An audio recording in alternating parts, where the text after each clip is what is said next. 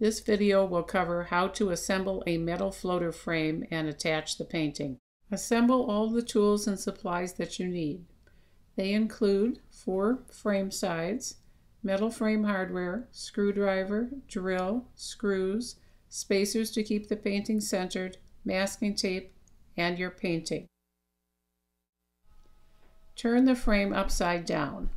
Then place the corner angle with the screw over the thin corner angle.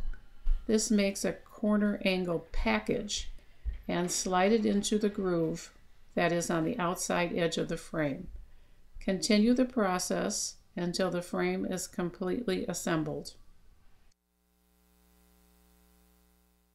If you find it difficult to slide the corner angles into the frame, you may have to loosen the screw slightly and then they should go in easily.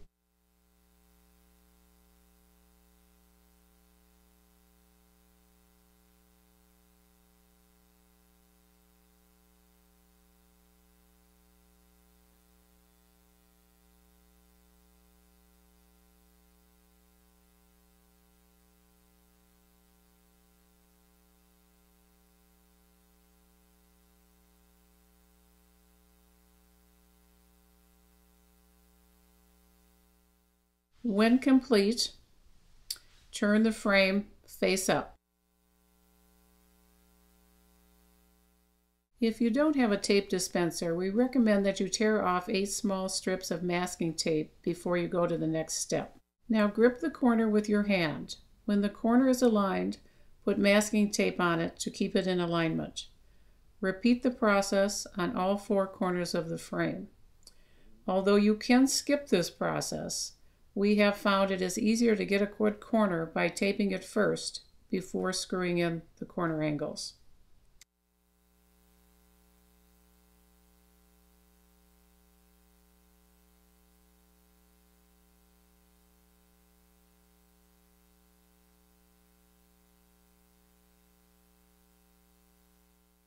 When all four corners are taped, turn the frame over.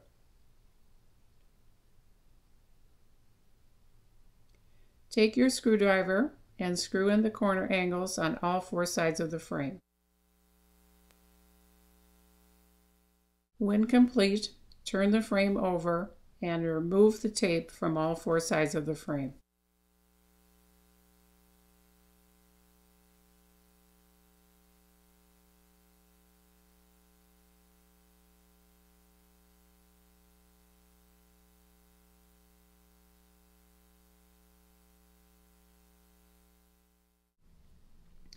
Place the painting in the frame.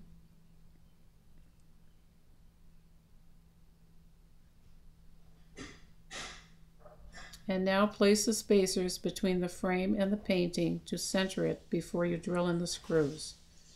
We recommend using small scraps of mat or foam board for spacers.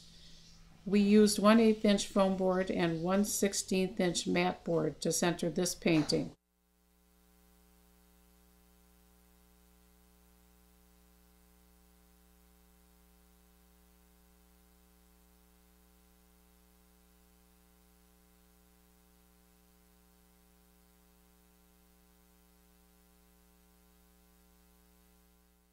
Once the artwork is centered, move it slightly off the table so you can drill in the screws from behind. Drill in the screws on only two sides of the frame, either the top and the bottom or the left and the right.